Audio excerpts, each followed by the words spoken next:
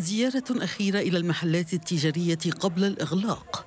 السكان إلى الشرق من نهر هوانغبو في حالة إغلاق تام فيما لا يزال بإمكان مواطنيهم في الغرب القيام ببعض المشتريات لكن الطعام ينفد وما تبقى باهظ الثمن. سيبدأ الإغلاق في الأول من أبريل لذا خرجت لشراء بعض الطعام. الطابق الثاني فارغ تماما. ماذا عساني أن أفعل في الأيام المقبلة؟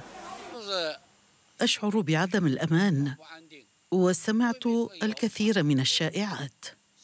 كمثل نفتقر إلى هذه الأشياء اليوم ونحتاج إلى التسرع في شراء البضائع. أسعار السلع آخذة في الارتفاع والناس في حالة من الذعر. يؤكد الباعة والمحلات التجارية أن هناك نقصا في العديد من المنتجات. يصعب الحصول على الخضار من أسواق الجملة بعد أن أغلق العديد منها. اشترينا الخضار من تجار الشوارع. إذا لم نتمكن من الحصول على الخضار فهذا يعني خسارتنا. من المقرر أن يستمر إغلاق شنغهاي لتسعة أيام.